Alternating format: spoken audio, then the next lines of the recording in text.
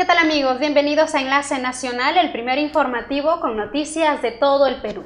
Hoy iniciamos el programa comentándoles que recientemente el Pleno del Congreso aprobó con 76 votos a favor y dos abstenciones el proyecto de ley para prevenir y sancionar el acoso sexual callejero que afecte la dignidad y el libre tránsito de la mujer, los niños o los adolescentes. Sobre ese tema vamos a conversar con Diana Miloslavic Tupac. Ella es coordinadora del programa Participación Política y Descentralización del Centro de la Mujer Peruana, Flora Tristán. ¿Cómo está? Bienvenida a Enlace Nacional. Gracias por esta invitación. Bien, comentemos sobre este tema, ¿no? Que ha sido recientemente aprobado en el Congreso que ha sido también convocado este pleno, que, así, que es el primero de este año, y que la presidenta del Congreso pues tuvo a bien eh, convocarlo, ¿no? Teniendo en cuenta que se tenía que abordar temas relacionados a la mujer, ¿cierto? Eh, el primero de este año y el primero de la historia eh, del Congreso en nuestro país, que hay un pleno para ver solamente la legislación eh, relacionada con las mujeres. ¿no? Y en ese marco, eh, digamos, hay algunas leyes que fueron debatidas, aprobadas, de muchas, casi 16 que, que están en agenda y que esperamos eh, entren en las próximas semanas. Y una fue esta ley que más conocida como eh, la ley de acoso callejero. Así es, pero eh, esta ley, como bien hemos dicho, ha sido aprobada con 76 votos a favor y solo dos abstenciones.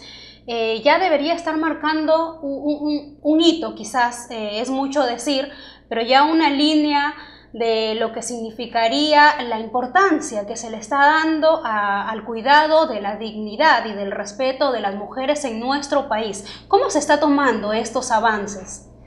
Eh, como dice la comunidad Rosa Mavila, esta ley de alguna manera está colocando en la agenda pública que eh, no podemos seguir tolerando este, lo que algunos denominamos o denominan las mañoserías, ¿no es cierto?, de hombres, ¿no es cierto?, que acosan en el metropolitano de Lima, en las calles, que se masturban en público, que enseñan los genitales a las mujeres, que cuando una joven atraviesa una, una, plaza, una, casa, le, le, meten la mano, ¿no es cierto? Que se...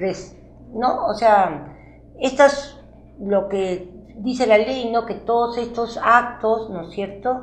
Que tengan una connotación sexual hacia una o, o hacia uno o más personas que que esto implique, digamos, un rechazo, indignación de la persona, digamos, van a ser eh, sancionados, ¿no? Claro. Entonces, eh, hay, seguro que va a haber en las próximas semanas controversia sobre cómo se aprobó una ley solamente en la parte preventiva y que la parte punitiva, ¿no es cierto?, que iba con penas de 1 hasta 12 años, esto, digamos, se va a tener que subsanar de alguna forma en el Código Procesal Penal o, o en el reglamento, en fin, eh, seguro que en los próximos días quienes han estado detrás de esta iniciativa van a presentar eh, alguna salida al respecto, pero creo que lo importante es que esta, este pedido, ¿no?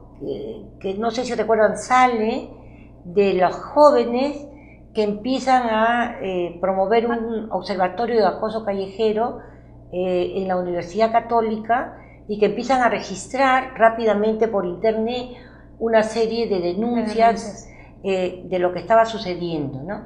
Y entonces colocan ellas en agenda lo que probablemente, ¿no es cierto?, muchas han vivido y yo también doy cuenta, digamos, de varios casos de acoso callejero que he vivido a lo largo de mi vida, pero que, digamos, no había dónde quejarse ni, cómo lamentarse, pero afortunadamente esta, este pedido, ¿no es cierto?, esta solicitud de cientos de jóvenes que empezaron a protestar porque, digamos, se, les impedía su libre tránsito, no solamente una línea como la del metropolitano, sino que también decían de que para llegar a su casa muchas veces en lugar de caminar las 3, 4 cuadras de su paradero, tiene que dar vueltas, ¿no es cierto? Tiene que caminar 10 cuadras para evitar los lugares donde hay estas personas que están esperándolas o que están en grupo esperando que pase una chica joven para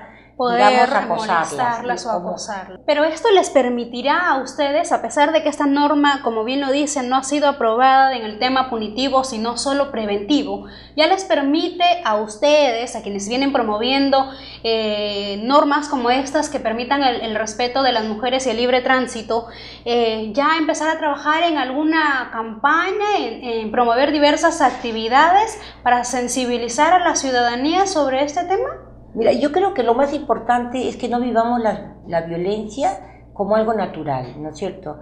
Este, que, que tengamos conciencia de que no vivamos como algo natural, digamos de que uno contemple que está pasando una joven y que de pronto viene un tipo y le mete la mano y no pasa nada, incluso hasta puede causar alguna risa, ¿no es cierto?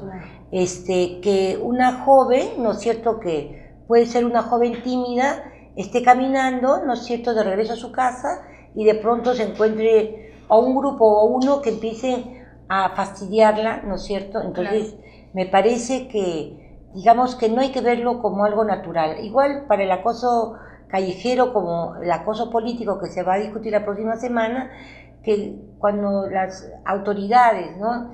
Dicen, sí, el alcalde me dijo, ¿qué haces acá? Vete a cocinar o yo le pido información y no me la da. Entonces dice, bueno, así es la política. No, la política no es así.